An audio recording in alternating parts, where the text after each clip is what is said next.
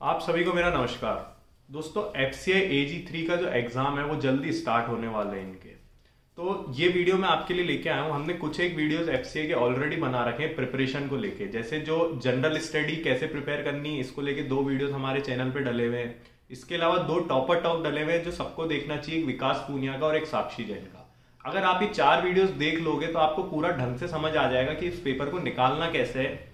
और एफसी के बारे में भी आपको काफ़ी कुछ नई चीज़ें पता चलेगी। लेकिन एक चीज़ मैं आपको बताना चाहता हूँ कि इसका आखिरी बार नोटिफिकेशन आया था मेरे ख्याल से अराउंड फेब्रवरी 2019 में। उसके बाद ये अभी सितंबर 2022 में आया है। तो लगभग थ्री एंड हाफ़ ईयर यानी साढ़े तीन साल बाद इसका नोटिफिकेशन आया है। बहुत सारे कारण हैं कि FC अपना नोटिफिकेशन हर साल क्यों नहीं निकालता है।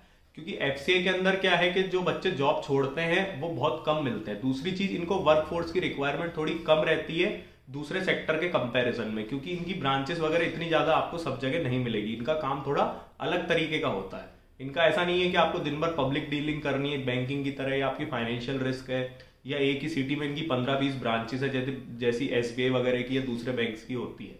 तो इसलिए ये जो अपॉर्चुनिटी है एफसीआई की ये मान के चलो कि अगला नोटिफिकेशन जो है एफसीआई का, वो लगभग दो से तीन साल बाद ही आएगा। क्योंकि एक बार अगर ट्रेंड यही बोलता है कि एफसीए अपना नोटिफिकेशन निकालता है तो उसके बाद नेक्स्ट नोटिफिकेशन लाने में वो लगभग तीन साल का वक्त लगाता है। तो इसलिए मैं आप लोग को बताना चाहूँगा कि अगर आप अपनी प्रिपरेशन कर रहे हैं अभी एफसीआई की तो थोड़ा सा अपनी प्रिपरेशन को टेन परसेंट ज़्यादा एफर्ट दें, क्योंकि ऐसे मौके बार बार नहीं आते हैं एफ़ जैसी ऑर्गेनाइजेशन के अंदर जॉब लेने के। तो अभी जिन बच्चों ने फॉर्म भर रखा है, उनको मेरा बहुत बहुत बेस्ट ऑफ़ लक साथ ही मैं बोलना चाहूँगा कि इसे एक तरह से लास्ट अपॉर्चुनिटी मान के चले एफ़ की, क्योंकि अगर मान लो यहाँ आप चूक जाते हैं तो फिर ये ज़रूर है कि आपकी दूसरी जगह जॉब लग सकती है, नहीं भी लग सकती। लेकिन एफसीआई की जॉब जो है, वो बहुत अच्छी है।